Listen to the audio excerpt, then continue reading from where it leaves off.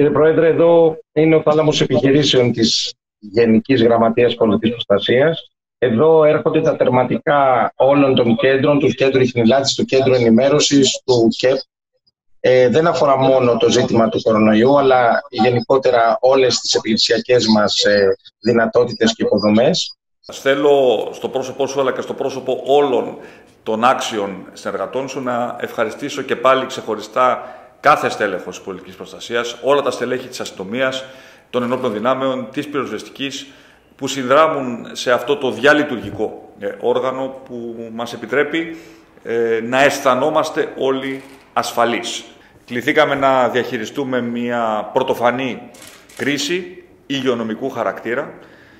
Την ε, χειριστήκαμε και τη χειριστήκατε με απόλυτη επάρκεια, με μεγάλο επίπεδο ε, σοβαρότητας και πρέπει να σας πω ότι ειδικά σε ζητήματα που έχουν να κάνουν με τη διαδικασία της ε, ιχνηλάτησης, το λεγόμενο contact tracing, τον εντοπισμό των ύποπτων περιστατικών, καταφέρατε να κάνετε μια εξαιρετική δουλειά σε αντίξωες συνθήκες. Ε, θα χαρώ πάρα πολύ να δω και να μου παρουσιάσετε σήμερα τα εργαλεία τα οποία έχετε στην ε, διάθεσή σας, τα συστήματα η αμεσότητα και η ακαριαία αντίδρασή μας στα ανακλαστικά μας είναι αυτά νομίζω που μπορούν να φέρουν το αποτέλεσμα. Έχουμε ανα πάσα στιγμή, αναδήμο, αναπεριφέρεια, αναενότητα, μπορούμε να ξέρουμε πόσα κρούσματα έχουμε, ποια είναι η κατάσταση των κρούσματων, ποια είναι η σχέση τους σε σχέση με τις διαθέσιμες κλίνες σε όλη την Ελλάδα. Είναι μια εφαρμογή που την αναπτύξαμε, που τελειοποιείται κάθε μέρα γίνονται τα απαραίτητα updates,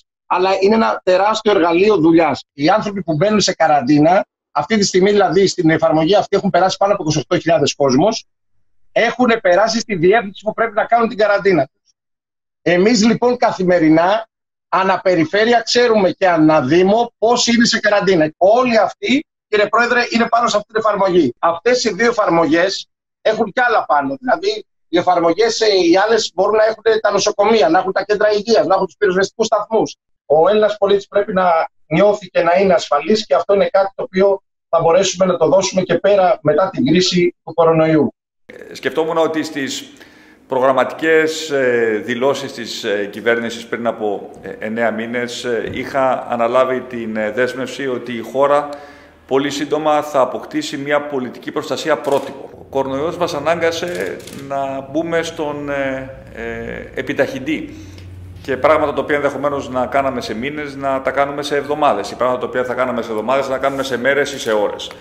Διαπιστώνω όμως ότι υπάρχει το ανθρώπινο δυναμικό, ε, η τεχνογνωσία και με την κατάλληλη υποστήριξη θα μπορέσουμε σύντομα να φτάσουμε σε αυτόν τον στόχο και προσβλέπω ε, σε αυτό το οποίο είπες να έχω την ευκαιρία να εγκαινιάσω το καινούριο κτίριο της πολιτικής προστασίας το οποίο ήδη ε, προετοιμάζεται και το οποίο θα είναι ένα κτίριο υπόδειγμα στο οποίο θα συγκεντρώνονται όλοι οι άνθρωποι και όλη η πληροφορία η οποία απαιτείται για να διαχειριστούμε κάθε είδους κρίση.